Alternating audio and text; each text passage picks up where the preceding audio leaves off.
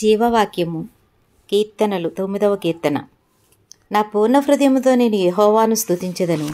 యహోవా నీ అద్భుత కార్యములన్నిటినీ నేను వివరించెదను. మహోన్నతుడా నేను నిన్ను గూర్చి సంతోషించి హర్షించుచున్నాను. నీ నామమును కీర్తించదను. నీవు నా పక్షమును వ్యాజ్యమాడి నాకు న్యాయము తీర్చుచున్నావు.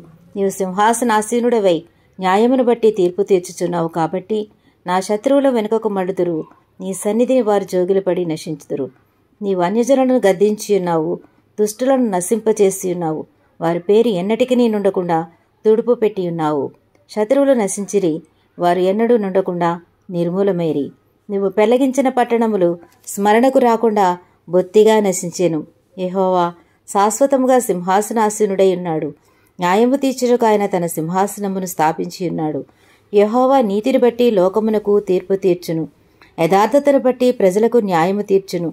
నలిగిన వారికి తాను మహాదుర్గమగును. ఆపత్కాలములలో వారికి మహాదుర్గమగును.